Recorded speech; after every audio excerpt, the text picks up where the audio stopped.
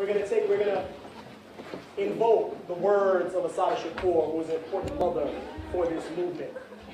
We're gonna start quiet and we're gonna build from there. So I want you to repeat after me. It is our duty to fight for our freedom. It is our duty to win. It is our duty to win. We must love each other and respect each other. We must love each other and respect each other. We have nothing to lose but our chains. We have nothing to lose but our chains. A little bit louder. It is our duty to fight for our freedom. It is our duty to fight for our freedom. It is our duty to win. It is our duty to win. We must love each other and respect each other.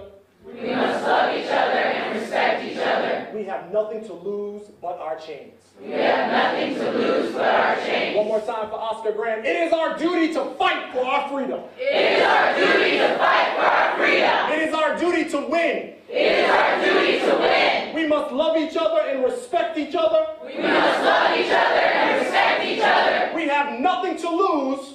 We have, we have nothing to lose but our chains. Thank you, Berkeley.